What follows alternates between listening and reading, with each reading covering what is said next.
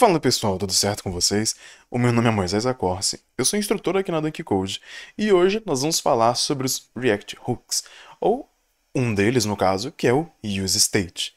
Mas antes de falar sobre isso, eu gostaria de te convidar a acessar os links que estão na descrição, que eu acredito que eles vão mudar a sua vida.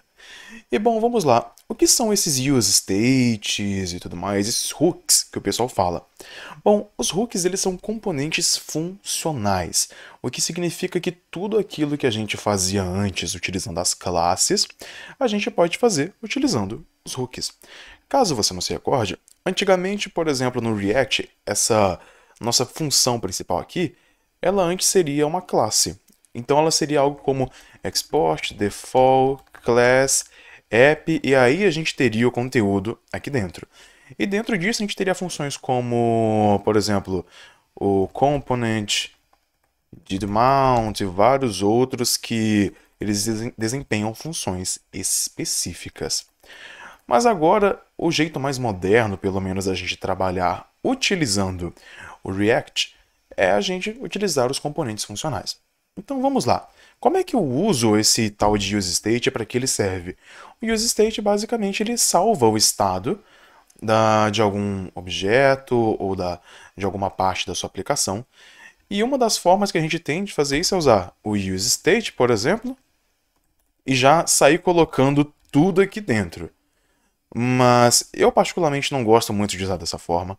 A forma que eu gosto mais de usar é criar uma constante e, por exemplo, a gente vai botar um array aqui e vamos colocar assim um array chamado número e o set número. Ele vai ser igual ao use state e o valor inicial dele vai ser zero. O que, que a gente tem aqui? A gente tem o seguinte, a gente tem a nossa constante número e a gente tem um outro valor, como, ele vai ser como se fosse uma espécie de função, para poder é, controlar o valor que está aqui dentro. Ele vai salvar esse estado e vai também pegar e vai, como eu posso dizer, modificá-lo. Esse set aqui na frente, basicamente significa que ele vai pegar, ele vai definir o valor desse nosso número. Então vamos fazer aqui o seguinte, vamos colocar aqui dentro de um H1 o nosso, o nosso número, vou colocar aqui número, dentro de um H1. E vamos criar aqui também, então, um botão de mais. A gente vem aqui e coloca, ó, fica button. A gente vai clicar aqui o botão de mais e vamos criar também o botão de menos. Beleza.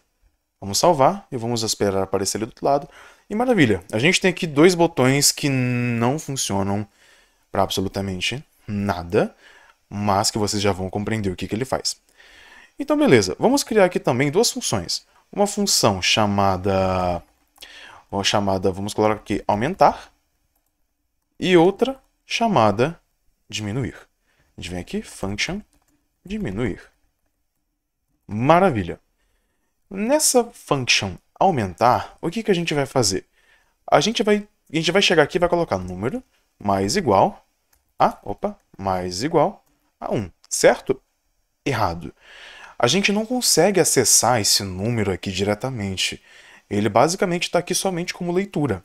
Então o que a gente vai fazer é, a gente vai pegar aqui o nosso set número e vamos colocar aqui, por exemplo, que número vai ser mais igual, opa, de novo errando aqui, mais igual a 1, ou número mais 1.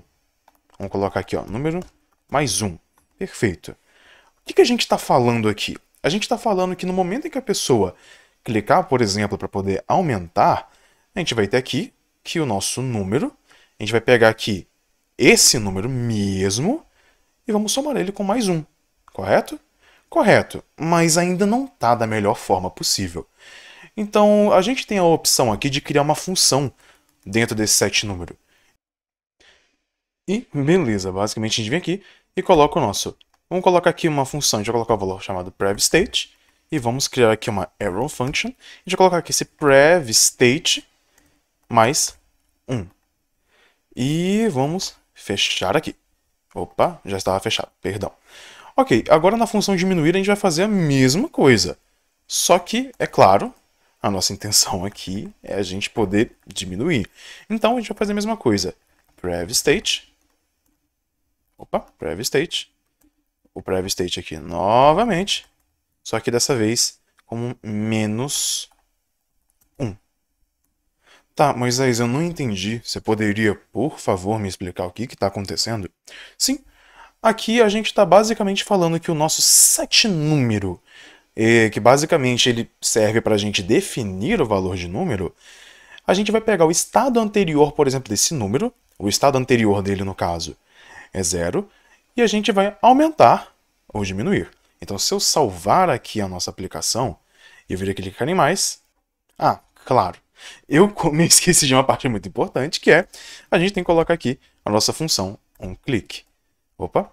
E aqui a gente vai colocar o nosso aumentar e vamos colocar aqui o nosso diminuir. Perfeito.